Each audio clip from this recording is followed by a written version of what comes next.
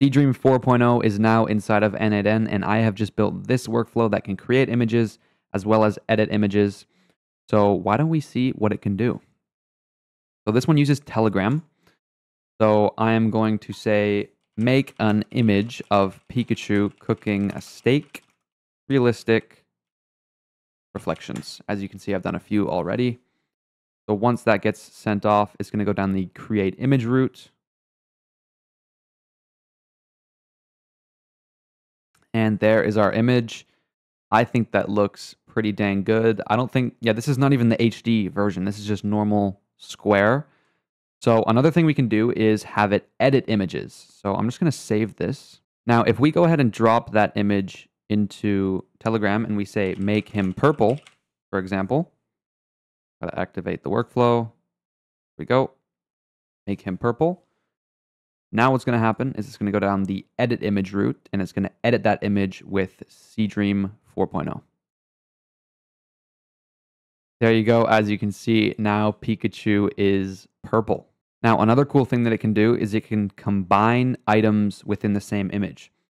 So if we drag in this image right here, which has a Coca-Cola and the image of the purple Pikachu, and we say, make Pikachu drinking the Coca-Cola.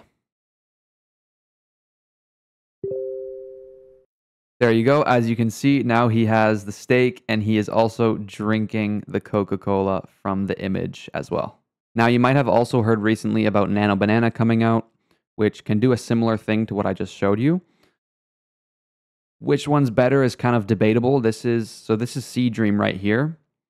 Um, this is typical vegetation distribution in four climate zones. Looks pretty good. So what I did was I took this prompt right here, draw a chart showing the blah, blah, blah. I took that into Nano Banana, and this was what I got right here. Now, as you can see, there are actually some little errors, right? Like this doesn't say rainfall. This is rain all, rain, rain tall, right? Um, this letter is messed up. Extreme is an S. This I is a little bit messed up. But on Seedream in this example right here on Fal AI, you can see all of the text actually looks pretty good. You can find this workflow for free in my Telegram. So this is my Telegram right here. Link is in the description. When I post the video, I will have it in here, a file that you can download. And then once you're inside of N8N, in the top right up here, you can just click here, import from file, find wherever you downloaded it, click on it, and then click open, and it will be all set up in here. Now, you can use this workflow in any of your other workflows to connect it. You can have the images become videos if you want to connect it to Veo3. Now, if you want to get this set up, there is a few things that you will need to actually do for it to authenticate properly.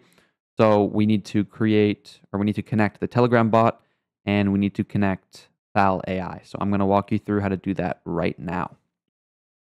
So the first thing you're going to need is Telegram desktop, okay? So once you're on Telegram desktop, in the top left up here, there's a search bar. Just search for Bot Father. B O T F A T H E R, Bot Father. Once you have searched for Bot Father, inside of here, you're going to want to search or type, sorry, slash start.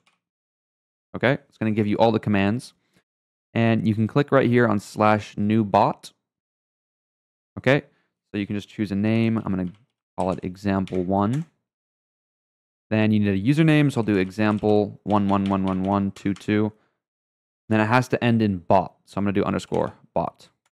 Enter, and now what that's gonna do is it's gonna give you this token right here that you can use to connect to N8N essentially. So if you click on here, that's gonna copy that. Now what we need to authenticate here is first this bot ID right here, this node right here, this little pen. I want to open that up, paste that in right there. Then we also need to authenticate all of these uh, Telegram nodes as well. So I'm going to open the first one here, click here, click create new credential, paste it in right there. And then I'm going to name this actually example. And then click on save. I'm going to test it. There you go. All good to go. And now I'm going to go into the other ones, credential to connect with, click here, click on the same one, right? I named it example. Third one, click on the same one. There you go. Now all of your Telegram is authenticated. And you can test this by just clicking this little plus on this right here. And then go back into Telegram.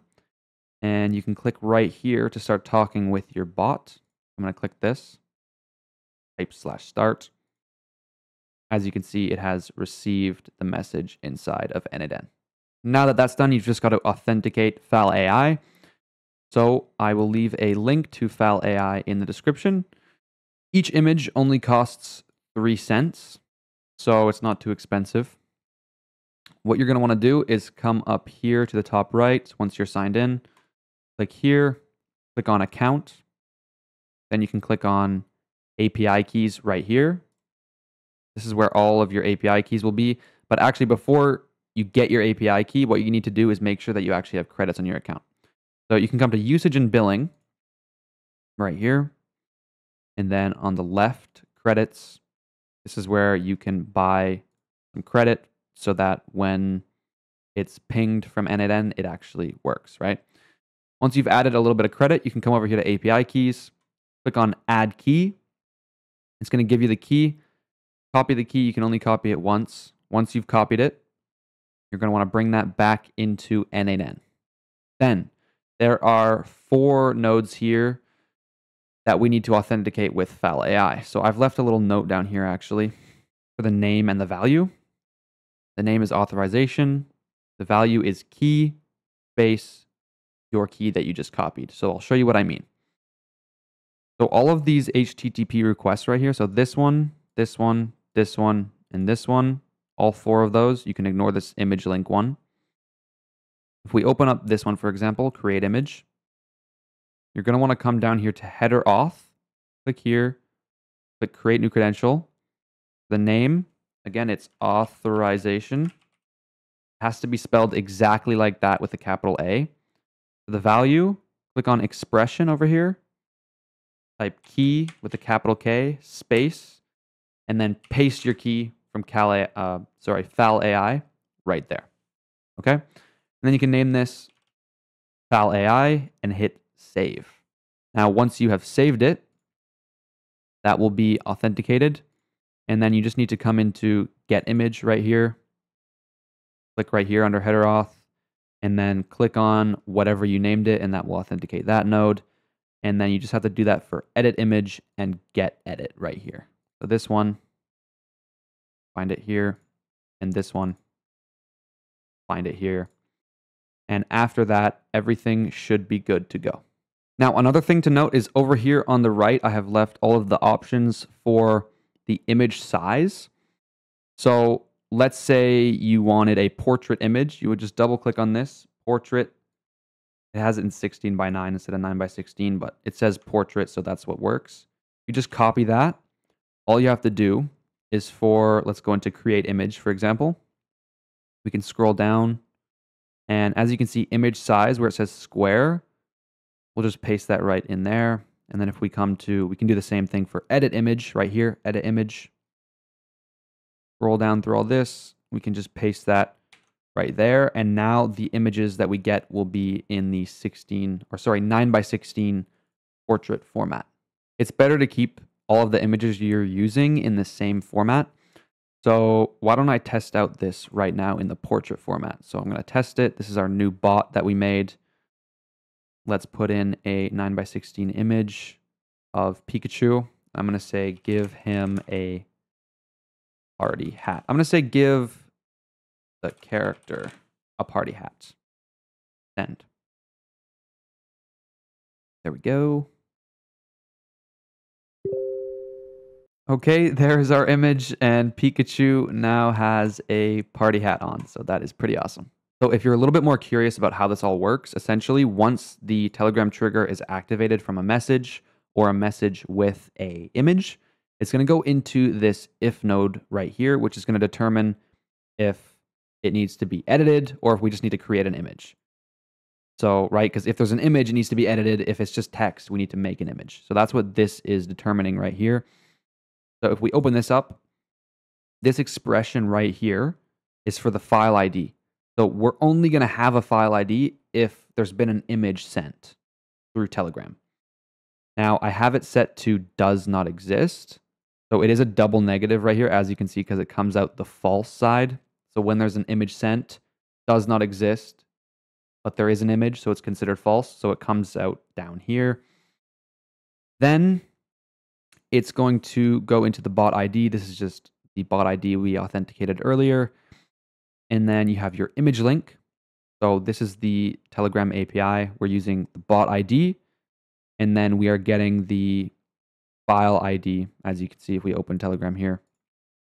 Because we sent a image through, file ID. This has just been dragged into here. And we're getting the file ID so that we can find the file path, which is from Telegram server, basically, right? Then when we go on to edit image, which is a FAL AI HTTP request. So now we're talking with FAL AI. What we can do is in the image URLs, this is Telegram right here, and we're using the file path, right? This JPEG right here, the file path to have the image that we can give to FAL AI so that FAL AI can use it with um, Seedream, right? To edit the image. And then for the prompt right here, if we open Telegram, this is just what's written. So if we scroll all the way down, you can see caption, give the character a party hat. This is from that, right? This was just dragged in into here for the prompt. And that is everything for that. Then once that's done, it's going to wait for it to be finished actually. And then this get request right here is going to retrieve the image and send it back to us in Telegram. And it's the same thing for the create image. So if there's no image sent, then it's going to use this HTTP request to ping FAL AI to make the image. We're going to wait for that to be done. And then once it's done, this right here is going to bring it back into N8N. And then this Telegram node is going to send it from N8N or FAL AI, whatever you want to say, back to us so that we can see it. One final note as well is if you want to create these kind of images where there's like overlapping, so you can have multiple pictures together, I'm just using Canva. Canva is completely free. All you got to do is come on here, click create. You can choose your size. They have a bunch of uh, different options here. Like this would be 9 by 16. You just put all your images on here and then go share, download, and you can download your image. That is the end of this video. Thank you so much for watching. Again, you can find the download link inside of my Telegram. Link is in the description. If you join my Telegram, you can stay up to date on the latest AI news and all of my videos before they come out. Thanks again, and I'll see you later.